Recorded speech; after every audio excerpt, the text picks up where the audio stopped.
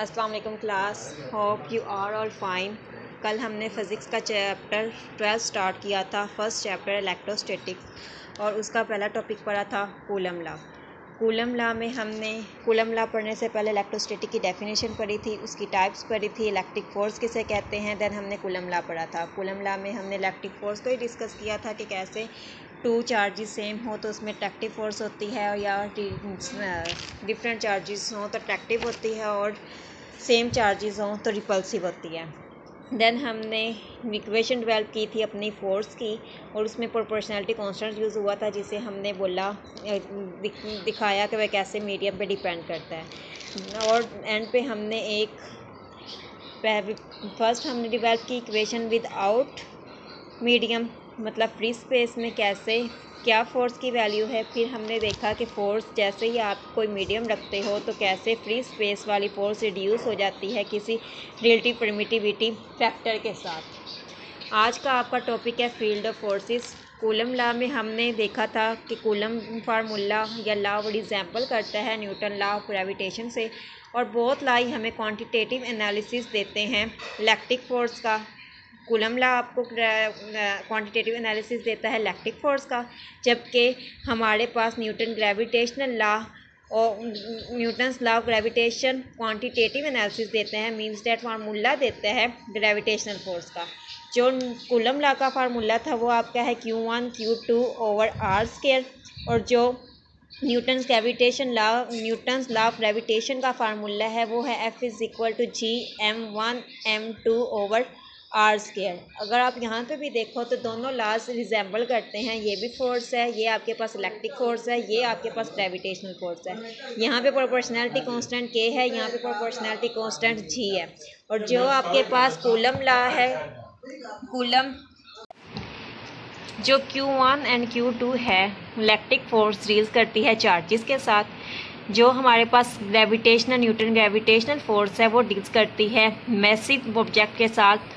या मैटर के साथ। अब यहाँ पे आपके दो क्वेश्चंस बनते हैं what are the origin of these forces कि ये फोर्सेस कहाँ से निकली थी, कहाँ से पैदा हुई हैं, कैसे ये इन स्टडी में आई हैं? और उसके बाद है how are these forces transmitted from one body और चार्ज टू एन अदर क्योंकि हम दोनों फोर्सेस की बात कर रहे हैं चार्ज वाली इलेक्ट्रिक फोर्स की भी और मैस वाली बॉडी मैस वाली ग्रेविटेशनल फोर्स की भी।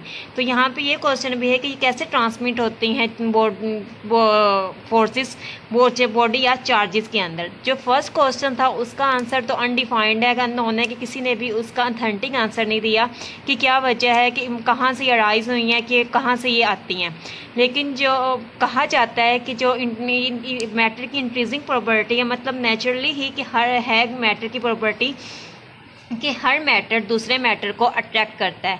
और इसी तरीके से ही जैसे इंक्रीजिंग प्रॉपर्टी है मैटर की है चार्ज की भी प्रॉपर्टी है कि वो भी अट्रैक्ट करता है, दूसरे अट्रैक्ट या रिपेल करता है, दूसरे चार्जेस को किसी फ़ील्ड के ज़रिए जिसको हम कहते हैं इलेक्ट्रिक फ़ील्ड ये आपका आंसर हो गया फ़र्स्ट वाले का what what are are the origin of these forces तो ओरिजिन इन फोर्सेस का अनडिफाइंड एंड नॉन है, लेकिन कहा जाता है कि मैटर की प्रॉपर्टी होती है कि हर मैटर दूसरे मैटर को अट्रैक्ट करता है। इसी तरीके से इलेक्ट्रिक चार्जेस के इर्द गिर्द फ़ील्ड होती है, जो जिसकी वजह से वो फ्लैट जो चार्जेस जो इलेक्ट्रिक चार्जेस की वजह से फोर्स डिवेल्प होती है।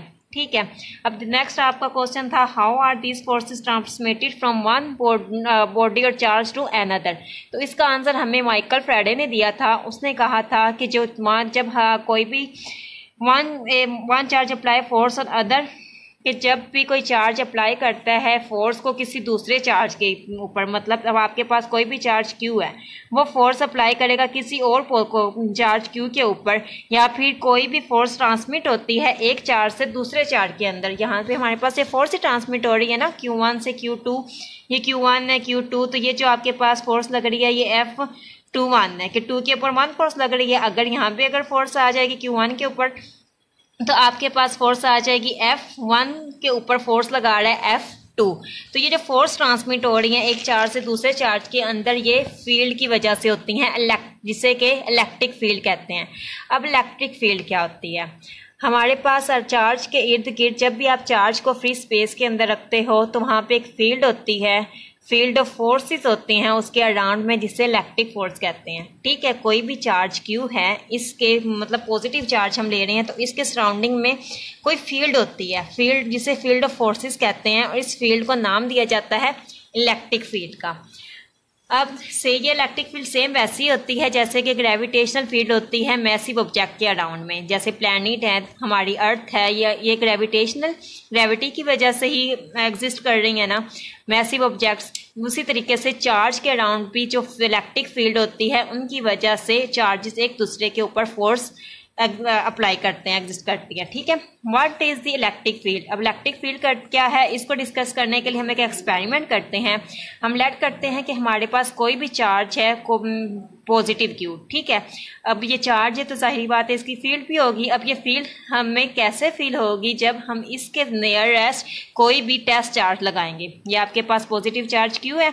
और कोई भी टेस्ट चार्ज फॉर एग्जांपल हम कह रहे हैं, हम पॉजिटिव क्यू नोट उसके नज़दीक रख रहे हैं। ये जो पॉजिटिव चार्ज आप ले रहे हो ना, इसका साइज़ बहुत छोटा होना चाहिए ताकि ये वाला चार्ज आपकी जो चार्ज जो टेस्ट चार्ज है, वो डिस्टर्ब ना कर सके डिस्टोर्ट ना कर सके हमारी पॉजिटिव चार्ज क्यू को। ठीक है? अगर ये हम हैवी लेंगे तो इसको डिस्टोर्ट कर देगा और हम नहीं फील कर सकेंगे कि इसकी नेचर क्या है। ये जो फ़ील्ड है, ये कैसी है?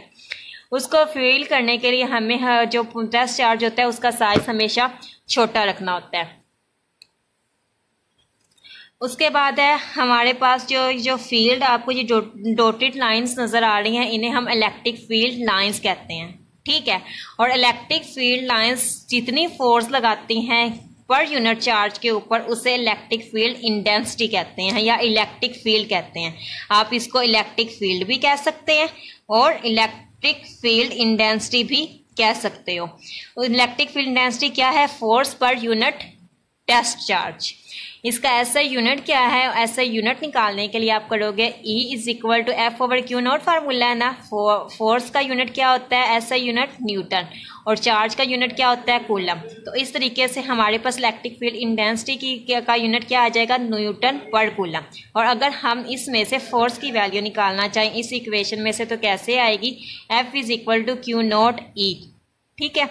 क्यू नोट इधर आके मल्टीप्लाई हो जाएगा और हमारे पास फोर्स की वैल्यू आ जाएगी क्यू नोट ई फोर्स एक वेक्टर क्वांटिटी है, जहाँ हमें पता है, अगर फोर्स एक वेक्टर क्वांटिटी है तो ज़ाहिर बात है, ये फोर्स किसके इक्वल है? इलेक्ट्रिक फ़ील्ड इंडेंसिटी के तो इलेक्ट्रिक फ़ील्ड इंडेंसिटी भी क्या है?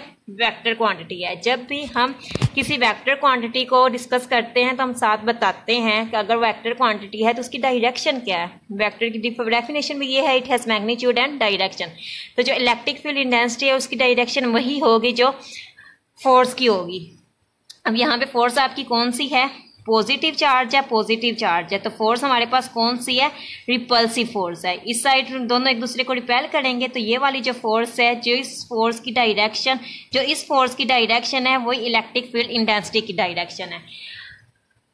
और अब हम अपनी कूलम अपने कूलम ला को जो हमने पहले डिवेल्प किया हुआ है, उसको देखते हैं कि वो कैसे रिलेट करता है इलेक्ट्रिक फ़ील्ड इंटेंसिटी के साथ। आपके पास इक्वेशन ऑफ़ कूलम ला क्या थी? F is equal to one over four pi epsilon naught Q one Q one Q naught Q one और क्यू टू थी यहाँ पे क्योंकि हम क्यू ले रहे हैं सिंपल पॉजिटिव चार्ज ले रहे हैं और क्यू नोट ले रहे हैं, आपके पास जो टेस्ट चार्ज था, ठीक है? अगर आपने Q1 और Q2 यहाँ पे ले रहे हो देन आपने यहाँ पे Q1 और Q2 लिखना है, लेकिन हम यहाँ पे एक पॉजिटिव चार्ज क्यों ले रहे हैं और एक टेस्ट चार्ज क्यों ले रहे हैं तो जो वैल्यू आपने फिगर के अंदर अपनी बताई है, वही वैल्यू आपने यहाँ पे लिखनी है, ठीक है? और हमारे पास क्योंकि ये वेक्टर क्वांटिटी है और हमने इससे किसी यूनिट वेक्टर से डिफाइन करना होता है, हर वेक्टर क्वांटिटी को तो वो वाला यूनिट वेक्टर आपके पास या आर है और आर के ऊपर कैप लगा के आपने बताना है कि ये यूनिट वेक्टर है।